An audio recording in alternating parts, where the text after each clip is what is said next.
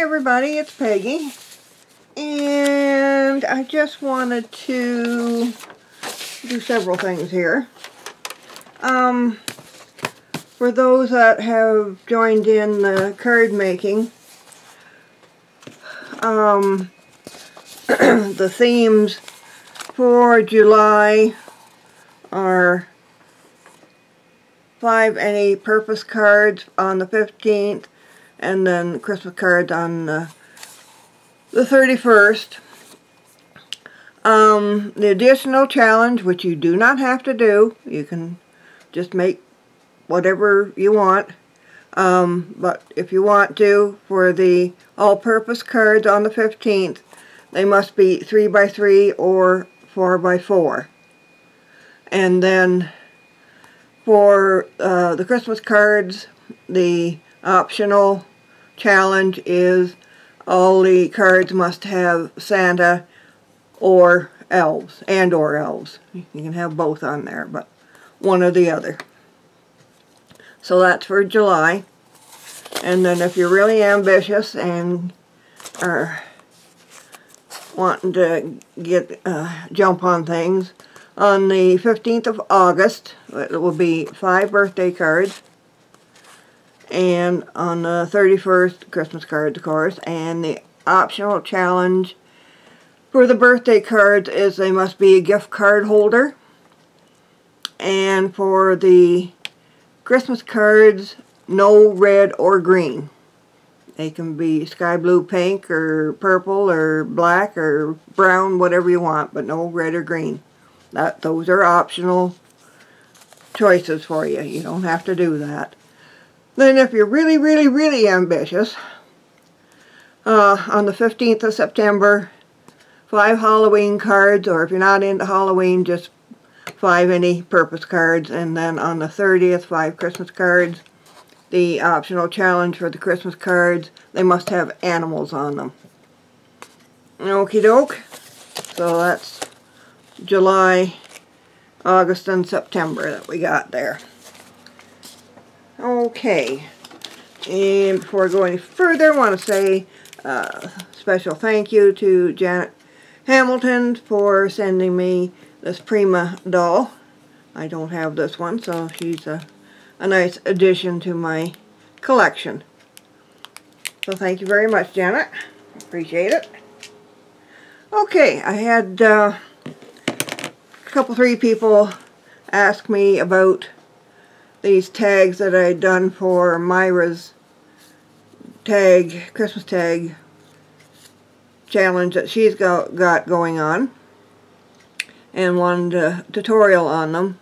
So they're extremely difficult to make. Oh my goodness. So, the first thing that you need is a strip of paper 2 inches by 12 and you will score that at 5 and then you need uh, some kind of a an edge punch. Yeah. and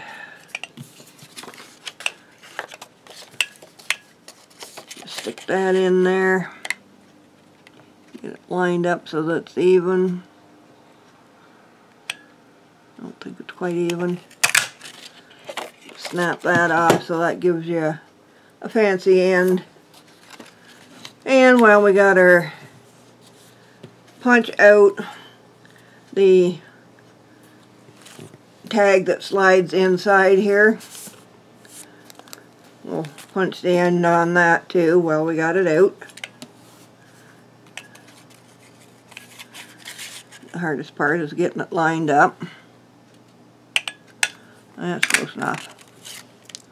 There we go. So that gives you your fancy end. So you've got your score line at 5 inches. Just going to fold that up. Give it a burnish. Either use glue or tape. Now the trouble with tape is that when you slide your tag in, it sometimes will stick against the tape, the side of the tape, so actually glue is better. So just run a, a thin line of glue up the side here. There we go. Yeah, that's hard, isn't it? so there you go. That's the the pocket for your tag. And uh, then that, that'll just slide down inside like that.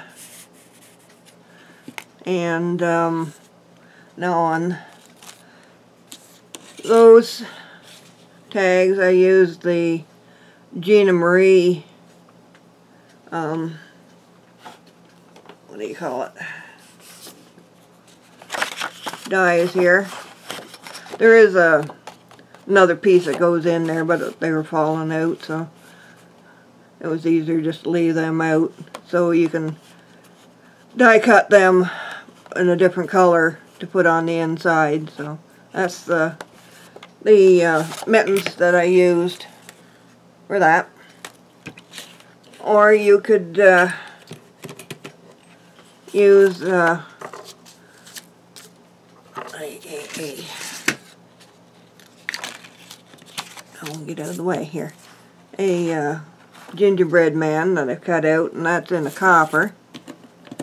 And another option would be the snowman and you could color him up. So anything at all that you would that would fit on the front, that's kind of cute. Or the the gingerbread man. And just put some some kind of embellishment on there, whether you use washi tape or um, lace or you can get as fancy as you want. And um, what I did on these was use the Crop-A-Dile and the eyelet and then ran some ribbon through it. You could just punch a hole, you don't need to put the eyelet in. And then I added just a, a rhinestone to the top of the this tag. Now I got a little bit more ambitious and heat embossed the Merry Christmas on that one. This is just a, a slap together card that I wanted to make to show you how it's done. So that's how hard it is. So that's 2 inches by 12 inches. Score it at 5. Cut the, uh, punch the one end. And then this is, I don't think I told you that, that's one inch by six inches and just punch the end of that and there you go that's it any questions give me a holler. Okie doke. Take care everybody. We'll talk to you later. Bye